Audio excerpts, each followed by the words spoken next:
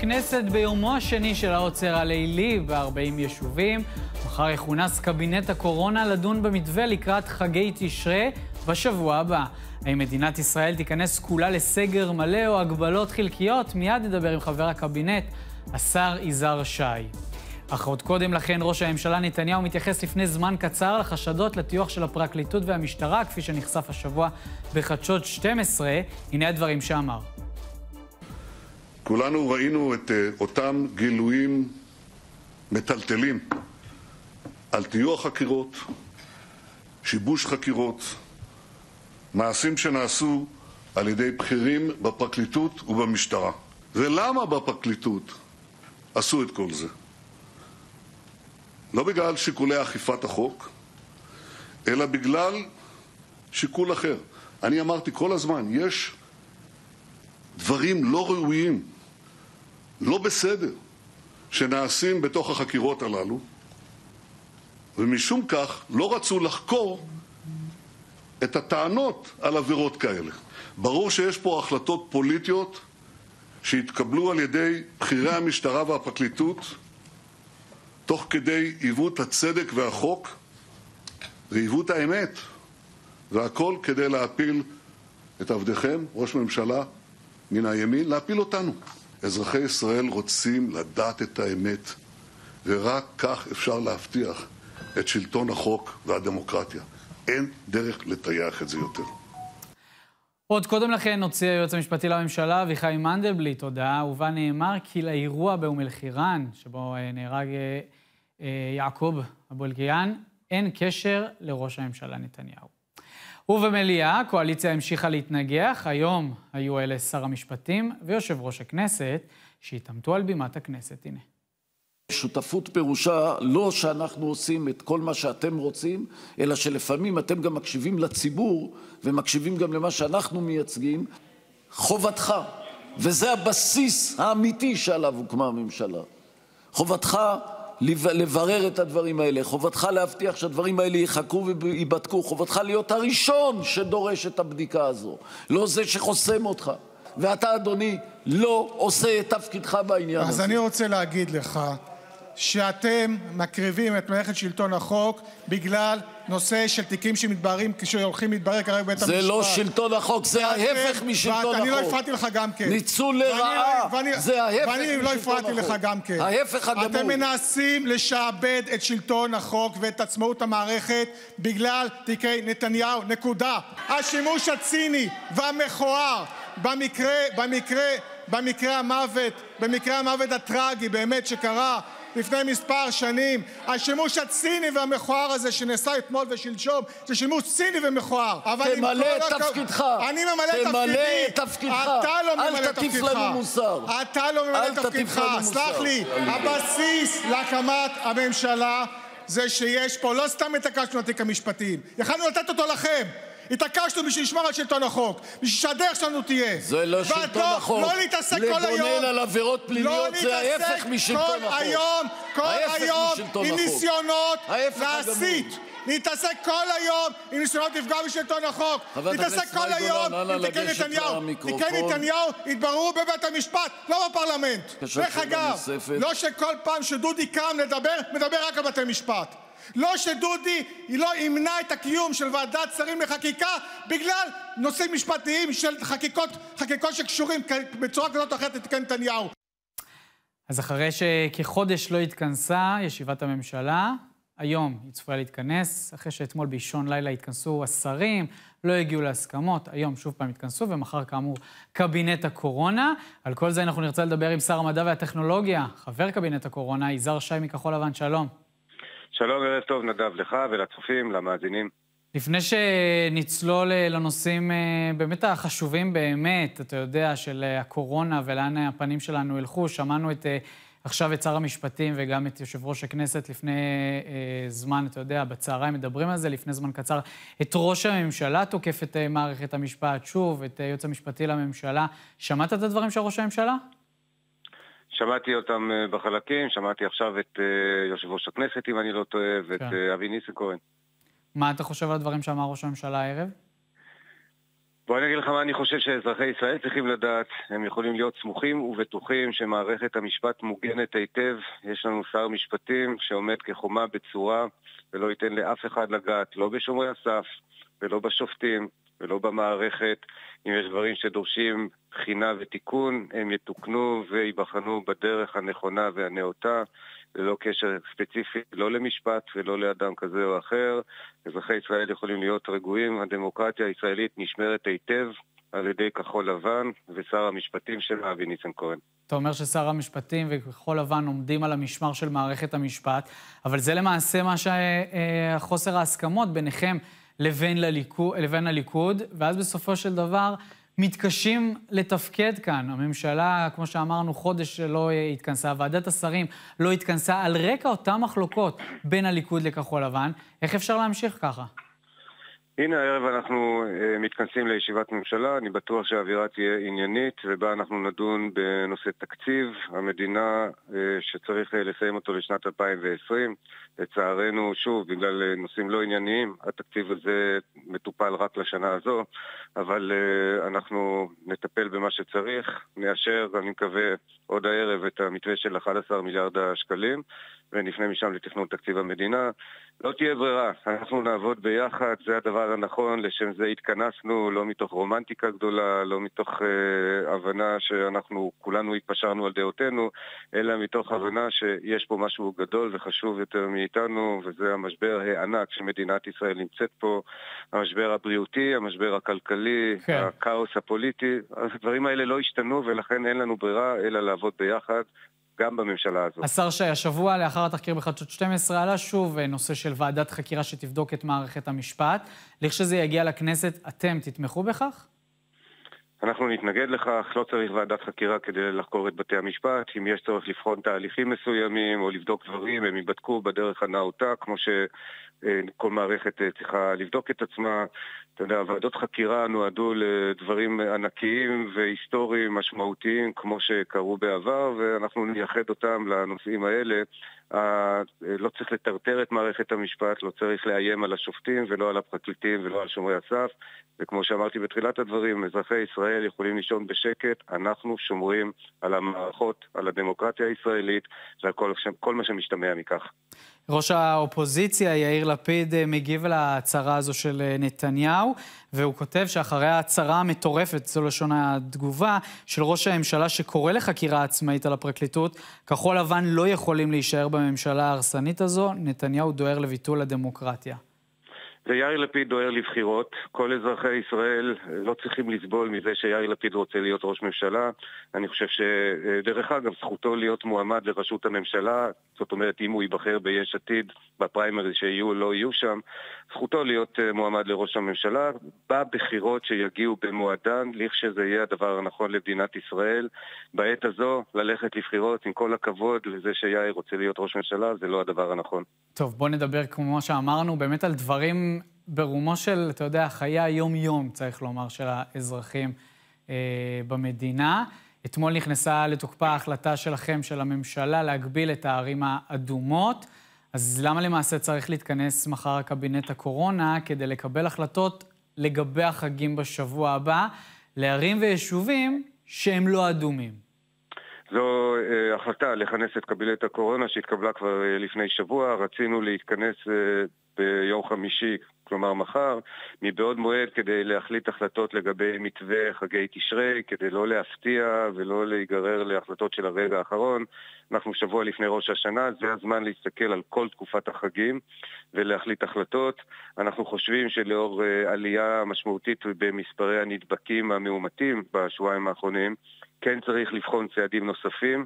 הצעדים שננקטו השבוע הם צעדים טובים בכיוון הנכון, אנחנו מקווים, כדי להפחית את uh, התחלואה או לפחות לעצור את הצמיחה במספרים. אבל uh, המומחים, מערכת הבריאות, אנשי המקצוע, גורסים כרגע שצריך uh, לשקול גם צעדים נוספים, ולשם כך אנחנו מתכנסים מחר, אנחנו נבחן חלופות, נבחן דברים נוספים שניתן לעשות על פי תוכנית הרמזור. על מנת להחזיר את השליטה ולהפסיק את הצמיחה במספרים. מה האפשרויות שעומדות על הפרק לקראת שבוע הבא? אתה יודע, האזרח הישראלי יושב בביתו, האזרח הממוצע, ולא יודע איפה יחגוג את ראש השנה החדשה. אכן כך, וגם אני עדיין לא יודע, וכל אחד מאיתנו יש לו תוכניות לחגים, תוכניות משפחתיות, תוכניות לטיולים, לחופשים, לתפילות, למנהגי החג. ובכל זה אנחנו צריכים לדון מחר ולקבל החלטות ולפרסם אותן בזמן כדי שאזרחי ישראל יוכלו להתארגן בהתאם. המתווים שאנחנו מסתכלים עליהם הם מתווים שמצד אחד יוכלו לאפשר לפחות חלק ממה שציינתי עכשיו, ומצד שני ישמרו על שלום הציבור ועל בריאותו. אנחנו חושבים למשל על מגבלות של מספרי אנשים שיהיו בארוחות החג, אנחנו חושבים אולי על מגבלות של תנועה במקומות מסוימים, אולי על הרחבות של הסגרים הליליים לאזורים נוספים, ומצד שני גם על מתווים מיוחדים שיאפשרו תפילות בבתי הכנסת יהיו. תפילות בבתי הכנסת יהיו, וגם בנושא הזה אנחנו רוצים לראות שאנחנו עושים את הדבר הנכון. רוצים לבדוק שהתוכנית הרמזור שמאפשרת את התפילות כן. בצורה סטנדרטית, אכן מטפלת... השר שי, אני רוצה להתעכב על מילים שאמרת, לפרסם בזמן. משהו שקשה לממשלה הזו, אתה יודע, לעשות, לפרסם בזמן, וגם כשמפרסמים בזמן, יש איזשהו לחץ, ואז משנים. אז תראה, קודם כל... מה שנקרא זיגזג. כן, אני לא יודע אם זיגזג, אבל נדב שאלת אותי, אז לפרסם בזמן, לכן אנחנו מתכנסים מחר ולא בערב ראש השנה. אם נתכנס מחר ונקבל החלטות מחר, נוכל לפרסם אותן כבר מחר בלילה או מחרתיים, והציבור יוכל להיערך בהתאם אם יש צורך להיערך. לגבי שינויי החלטות, תראה, אני חושב שהשינויים המשמעותיים ביותר שקרו עכשיו, קרו, סליחה, קרו השבוע, קרו קדים ובהתאם לחוק, ואני מדבר על שינויים במתווים בערים אדומות, על פי החוק שחוקק בכנסת זה לא מכבר, אחרי שהממשלה מחליטה לקבל צעדים משמעותיים שמגבילים את זכויות הפרט ביישובים שונים ברחבי המדינה, יש לראשי היישוב זכות לבוא ולטעון את טענותיהם ולדרוש שינויים. זה קרה באילת, ואכן באילת התקבלו חלק מהשינויים, זה קרה בטבריה, ואכן גם בטבריה התקבלו שינויים וגם ביישובים אחרים כך. שמה שאתה קורא זיגזג הוא בעצם הדבר הנכון, צריך לשבת עם ראשי היישוב, לבחון את המתווה הרצוי לאותו יישוב ספציפי, להבין את הצרכים המיוחדים לאותו יישוב ולפעול בהתאם. וכך היה, היו, אני לא רוצה להגיד הרבה שינויים, אבל היו שינויים חשובים במתווים שהוצאו לכל יישוב, והשינויים האלה היו חשובים מספיק כדי שהממשלה אכן תעשה את השינויים הרצויים, ואכן יתקבלו החלטות משותפות לאנשי מערכת הבריאות ולראשי היישובים כדי לאפשר את, ה, את המתווה הנכון פר יישוב. השר יזהר שי, שר המדע והטכנולוגיה מכחול לבן, תודה רבה לך על הדברים האלה. תודה וערב טוב. ערב טוב. אנחנו ממשיכים הלאה. יצרנית התרופות אסטרזניקה השתה את הניסויים בבני האדם של החיסון שהיא מפתחת נגד נגיף הקורונה, אחרי שאחד הנסיינים פיתח תסמיני מחלה. כעת נבדק כי מדובר בתופעת לוואי של החיסון, פיתוח החיסון בשיתוף אוניברסיטת אוקספורד, ושם נמצאים בשלב השלישי והמתקדם ביותר של הניסויים.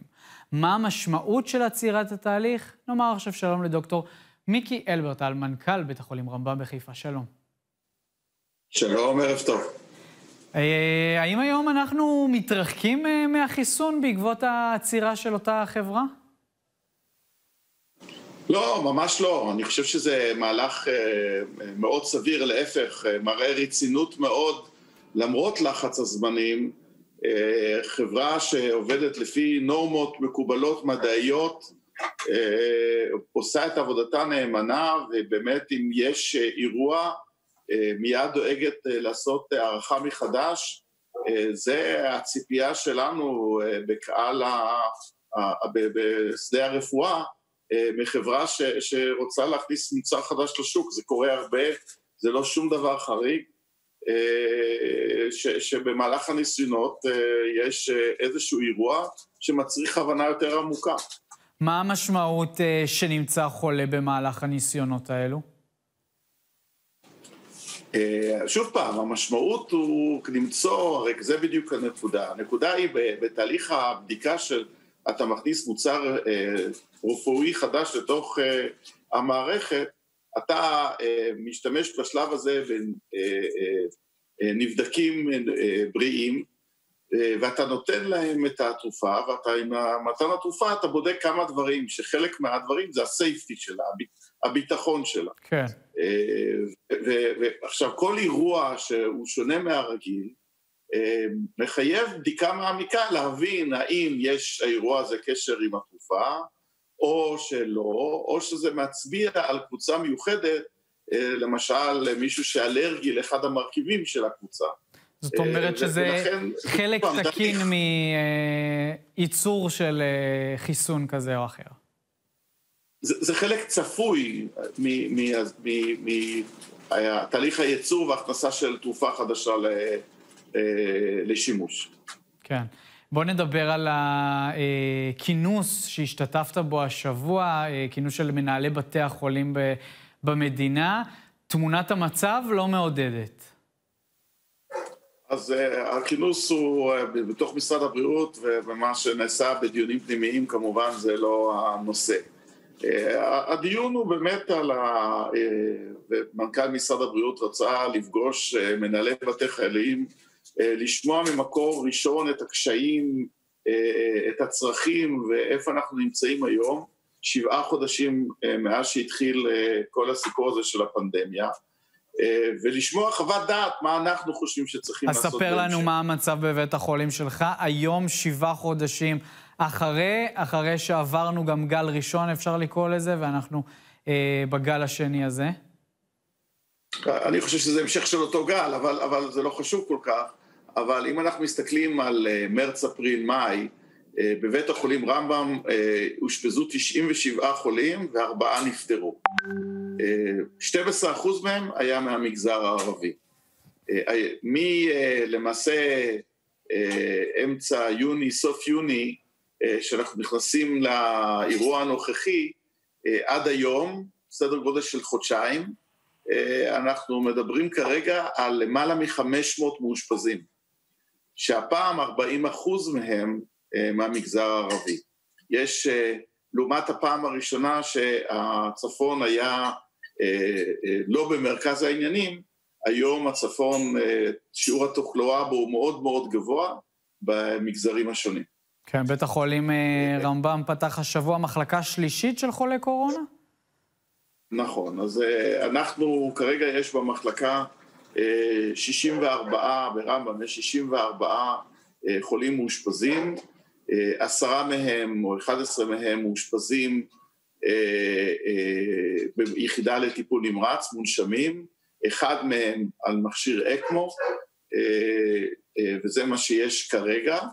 מעבר לחולים האלה יש עוד עשרים ומשהו חולים שהם מוגדרים כקשים, כך כן. שהתחלואה, התחלואה היא בצורה משמעותית עולה, ולכן בית החולים התבקש לפתוח את המתחם שלישי אה, לקבלת החולים האלה. דוקטור אלברטל, אני רוצה לשאול אותך, מה הסיבה לכך שאנחנו רואים אנשים צעירים במצב קשה הפעם? אה, אז אה, יש יכול להיות הרבה מאוד סיבות לכך. מהווירוס עצמו, שאולי עבר איזה שינוי מסוים, אנחנו יודעים כעובדה שכבר היום לווירוס הראשוני יש כבר שישה מוטציות. עכשיו, לא ברור שזה קשור למצב הנוכחי. דברים נוספים שאנחנו יודעים במהלך ההתנהגות שלנו עם המחלה, שהקבוצה המבוגרת היום אה, נשמרת מאוד, מגן אבות וכל מיני דברים נוספים שהמדינה עשתה כדי אה, לספות, אה, לשמור על, הקבוצה הזאת. ולעומת זאת, אין ספק שברמת ההתנהגות, הרושם היה של הצעירים עובר על העסק הזה בקלות, וזו איננה מחלה של צעירים.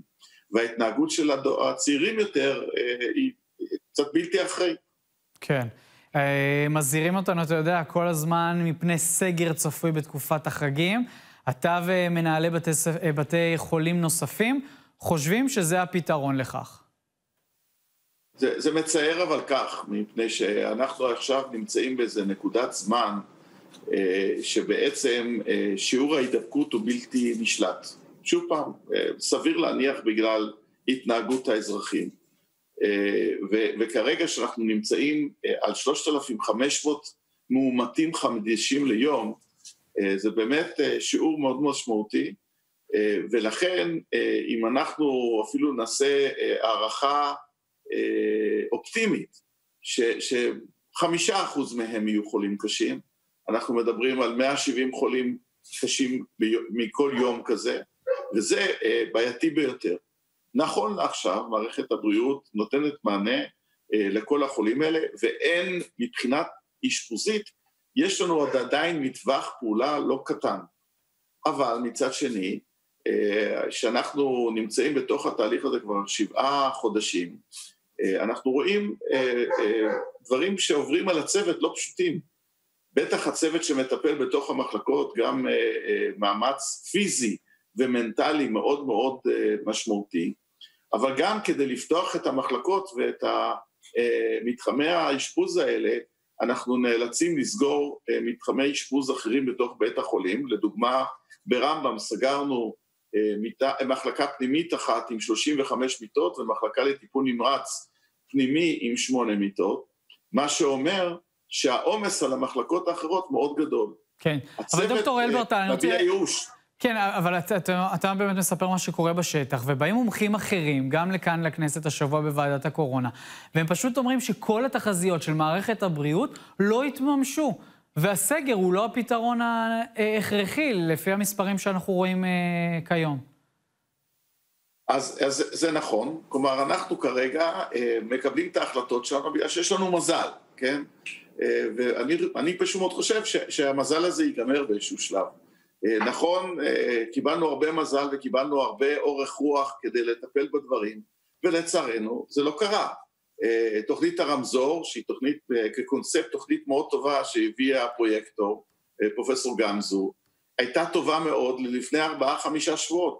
אם היו מיישמים את תוכנית המזור, הרמזור לפני ארבעה-חמישה שבועות, ובמקביל היו מקבלים שיתוף פעולה והיענות יותר טובה מהאוכלוסייה בלבישת המסכה, היגיינה, והריחוק החברתי. לא היינו פה עכשיו, אבל העובדה היא כרגע, שכרגע תוכנית הרמזור עברה סירוס מכל הכיוונים. אה, עוצר זה סגר, כן. אה, סגר זה כבר רק בלילה, אה, וכן בתי ספר, לא בתי ספר, ולכן באמת